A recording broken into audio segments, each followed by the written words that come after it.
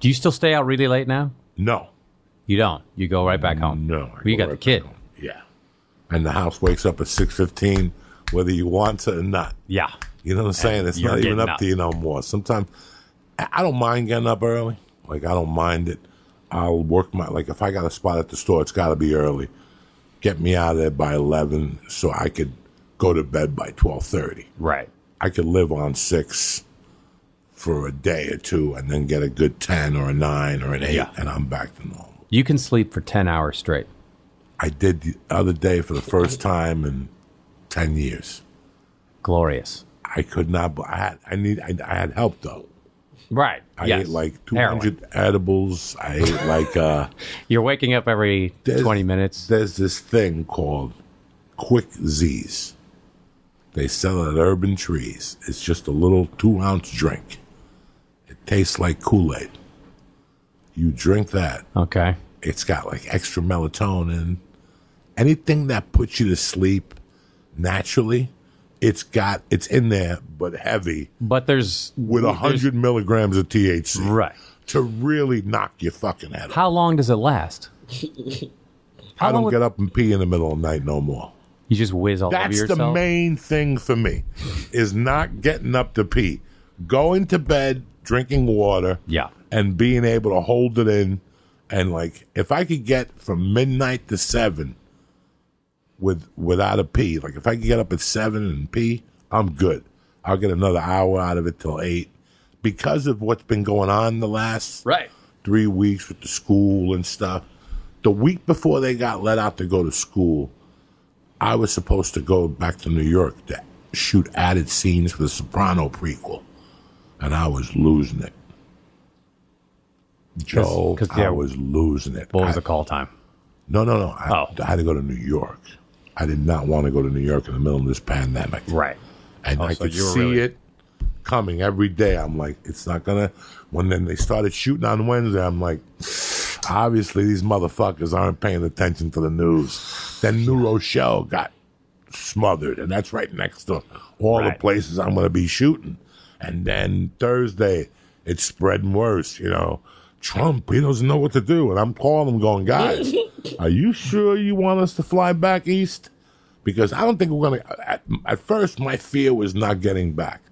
And that week, I had to do extreme measures to fall asleep.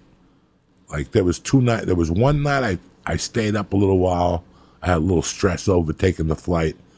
And then the next night, it was the night I drank the whole tube with a bunch of edibles. And usually, all right, so I play on the computer this way, like everybody at home does, right? Like straight up. So if I fall asleep, I'll just fall asleep like this, and I'll put my head up and look at the computer and see what time it is. Are you playing a game on the computer? Nah, I'm watching YouTube. Okay. I'm listening to YouTube on my computer, but I'm typing on the iPad.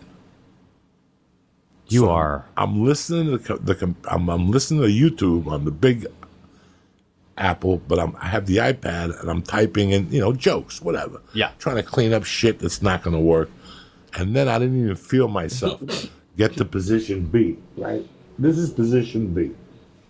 That's a good position to wake up in. That's not too bad if you just lay your head on the on the thing. Are you Now- drooling all over the place? no, not at all. Now there's position Not in C. B. Yeah, yeah. Position C is when you're away from the computer and you're just slouched in your own lap, right? Like you just- So last week, two weeks ago, I actually woke up in position D, which is right from here where the chair swivels, and I just fall onto the floor. And there's a heater, and that's how I woke up. The heater was burning all my back pubic hair.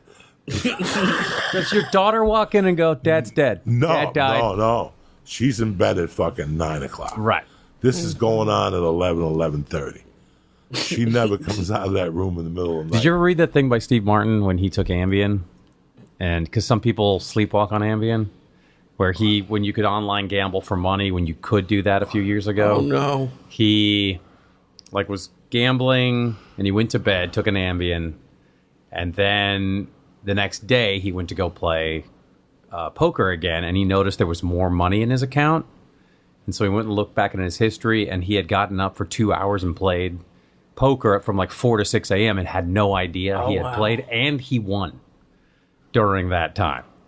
So I was, if I were him, I would have just taken an Ambien and sat down. And I don't to know. play. I don't like the Ambiens.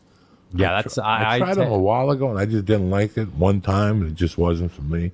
oh, I. It's I it's like when I fly to New York, especially those early flights or the overnight flights. Yeah, taking an Ambien. No Xanax for you? I've never taken a Xanax in my life. You rather go with the Ambien? Someone said that Xanax, uh, the, actually, the, this guy who worked for the company that sold it, he's like, stick with Ambien because Xanax is very habit forming. And I was like, Very this is habit. coming from the guy who sells it. Very habit forming. And he goes, you don't want to. He goes, you don't want to mess with it too much. And I was like, okay, good to know. I will just have more wine. I'll have another glass of wine, please. But have do you take Xanax? I'll take a Xanax. I'll Well, take the point two fives. Would you take that with the sleep thing? Oh yeah.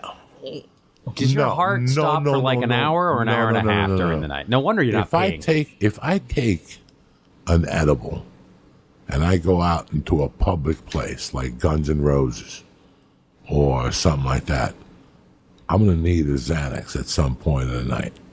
So I'll bring two of those footballs with me. They're little footballs. They're .25s. I don't know them. They're nothing.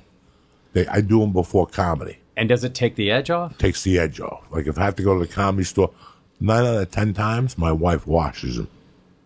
I don't even take them. I forget to take them.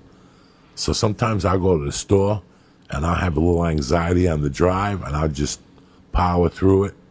And then once I get down there, the anxiety goes away. Sometimes it comes back and I'm covered.